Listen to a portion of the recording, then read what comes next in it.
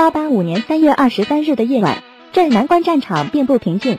在夜幕的掩护下，冯子材组织了对法军的突袭。这种战术面对组织性差的封建军队和农民起义中屡试不爽，但面对近代化的法国军队效果不大。三月二十四日清晨，镇南关依旧大雾弥漫。法军指挥官尼格里命令外籍兵团第二营留守大青山三号堡垒，派贺本哲中校率领幺四三线列步兵营为主力，趁着浓雾攻打大青山剩余的堡垒。由于兵力紧张，尼格里甚至把东京步兵营的越南狗腿子也当成了进攻炮灰。在迷雾之中，贺本哲中校发挥了法军无脑冲锋的光荣传统。他像堂吉诃德一样大招法军，勇敢地征服了峭壁和浓雾，但就是找不到冯子材部队的影子。贺本哲这时才一拍大腿，知道自己走错了，只好原路返回。赫本哲带队返回了一段路程后，才拍着脑袋想起自己忘了通知上司尼格里。由于通信条件和地形的限制，他的通知很晚才到了尼格里那里。在战场的浓雾下，这可是真浓雾。尼格里看到山顶的清军没有动静，也一拍自己的脑门。认为赫本哲已经得手，将剩下的筹码也扔出去进攻冯子台的长墙壁。尼格里的进攻战术依旧是炮兵轰、步兵冲。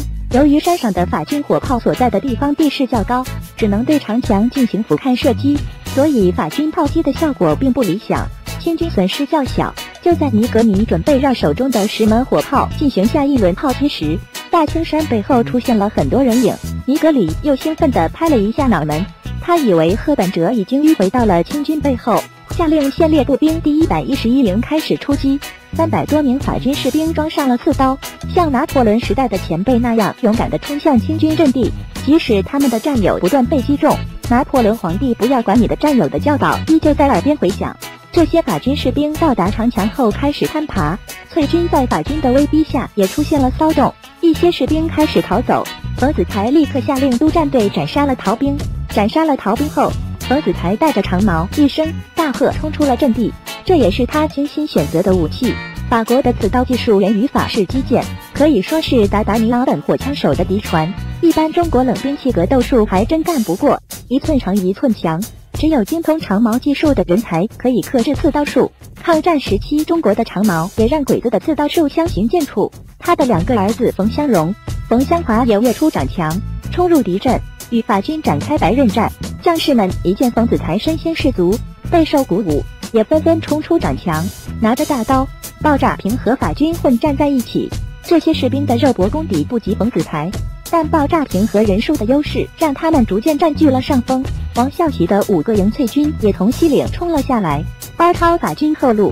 在清军的前后夹击下，法军先列步兵第一百一十一营败下阵来，撤到小鹿林。清军开始争抢法军的人头和遗弃的军袋，这大大降低了法军的损失。翠军比湘军、淮军还苦，但就是打赢了法军。与此同时，法军第一百四十三营东京步兵营终于返回了三号堡垒，他们艰难地冲到大兴山顶，攻占了四号堡垒。